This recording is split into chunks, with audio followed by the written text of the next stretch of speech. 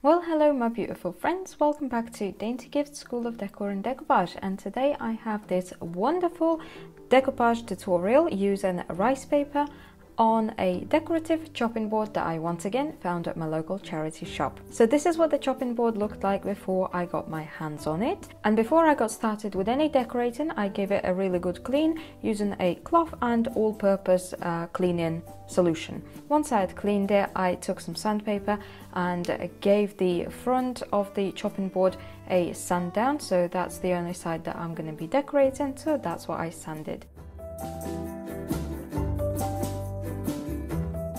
Once it was clean and sanded, it was ready to be repainted. So I took some white acrylic paint and I kept putting it on until I could no longer see the image underneath. This actually took me two coats of brush application and then two or three coats of sponge application. For some reason, this picture just did not want to be covered, so it took me a little while.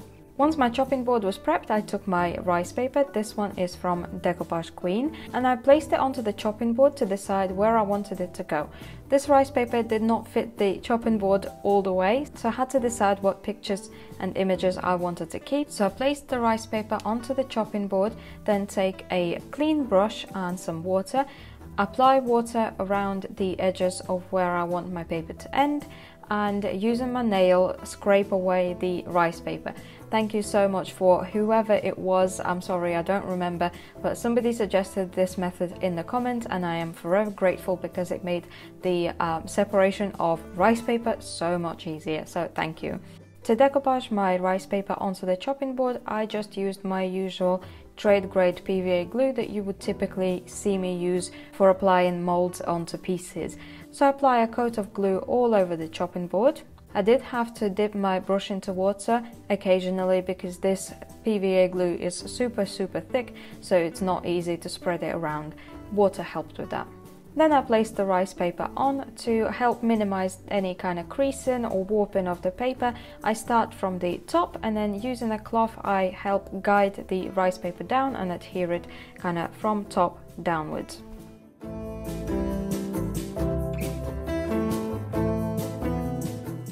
When the paper is on, I apply another coat of PVA glue and leave it to dry thoroughly.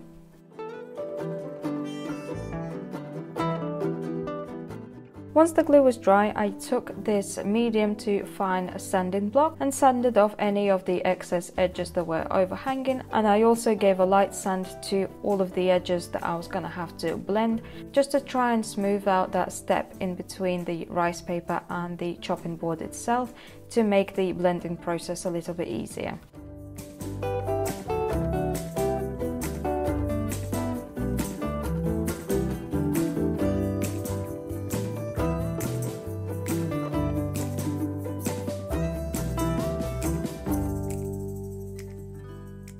And now we move on to the blending process.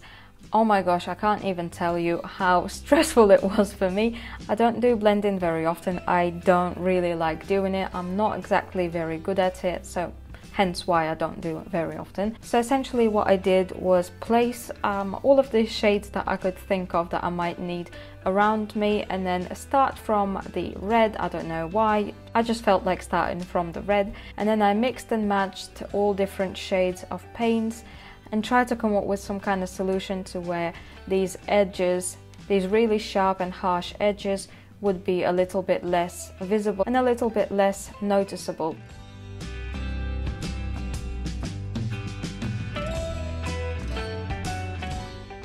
Ideally you would want to uh, paint the rest of the image onto it but I'm not that gifted unfortunately so um, I did the best that I could.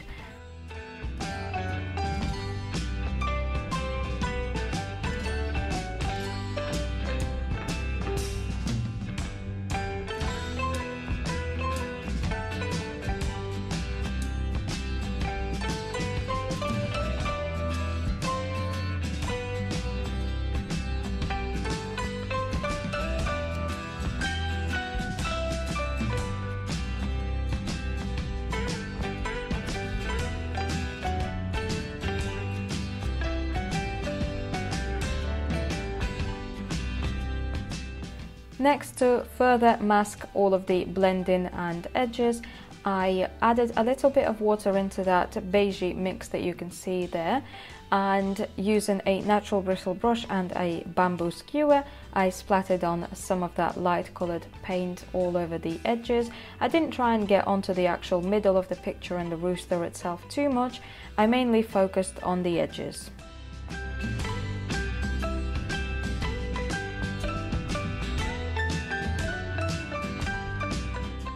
After the splatters I also took a sponge dabber, which by the way, have you noticed I finally bought some sponge dabbers? Congratulations me! Um, so I took some of that, again, a beigey paint and a sponge dabber and just dabbed it onto the edge of the chopping board to create a nice little border.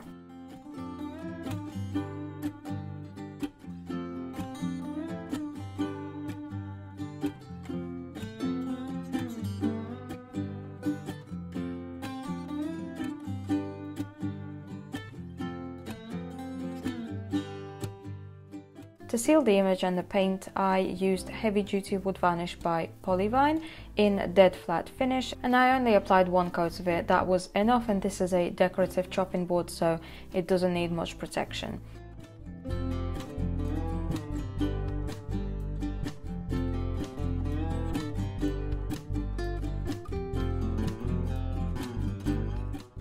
And for the last finishing touches I used all-purpose ready mixed filler through this um, flowery framed stencil I kind of picked out the bits that I wanted to apply and so I just used a palette knife to apply some of this filler onto again these blended edges to kind of once again create a bit more dimension to add a little bit more of this distractive element.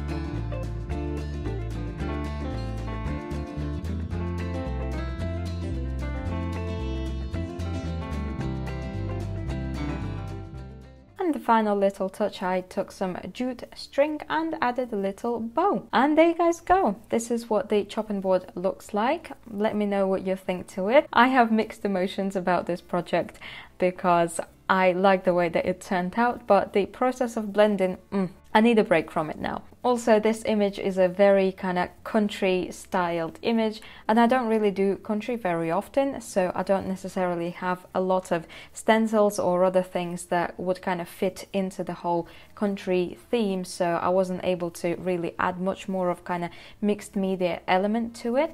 But at the same time, I also kind of like the fact that I wasn't really able to add much more to it because I think that anything else would have probably been an overkill and I think that it does look pretty nice just in its simplicity. Of course, as always, let me know what you think to this project. What do you think? How did I do with the blending? did I do all right with the blending? And for my question of the day, please do let me know what your favorite style of decorating is. So vintage, shabby chic, country, um, gothic, witchy, I don't know. I don't know what the names are, but yeah, if you have a favorite preferred style, then let me know. And yeah, as always, links for everything used in this video are going to be in the description below. If you would like to follow me on any of the social media, check out the links in the description as well. And yeah, lots of love from my house to yours, and I will see you guys in the next video. Bye!